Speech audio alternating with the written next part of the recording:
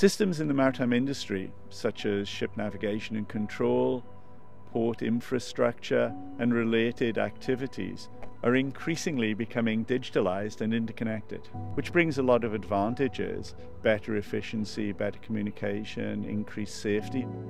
But the problem is, increased technology brings increased vulnerability. If you look at ships, the kind of technology in use for navigation, communication, monitoring is usually custom built. We need to ensure that that custom technology is also cyber secure and is not introducing vulnerabilities. If we think about the kind of thing that could happen with a cyber attack, in most aspects of daily life, we think about it as loss of data. But if you think about the shipping sector, we could, in the worst case, see vessels damaged, incapacitated, even used to damage other parts of the port infrastructure. We need to recognize that about 80% of global trade goes by sea. Within the UK, that can be 90 to 95%. We also need to recognize that the ocean is becoming home to more and more use technologies. For example, offshore wind energy. And from that, craft a way of getting the entire sector to move from cyber ignorant to cyber aware to cyber secure.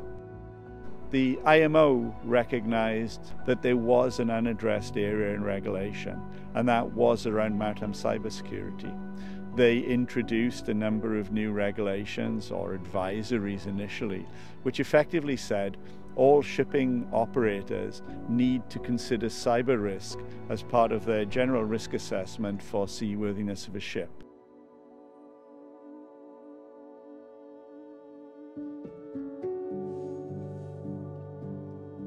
The University of Plymouth has been working in the maritime cybersecurity for a decade now we're investigating both the kind of problems and the possible solutions we can bring to this and other emerging technologies, and have worked hard to develop training methods that actually will have a productive effect in reducing cyber risk within the sector. We've worked with navies in more than one country to understand cyber risk from a military point of view.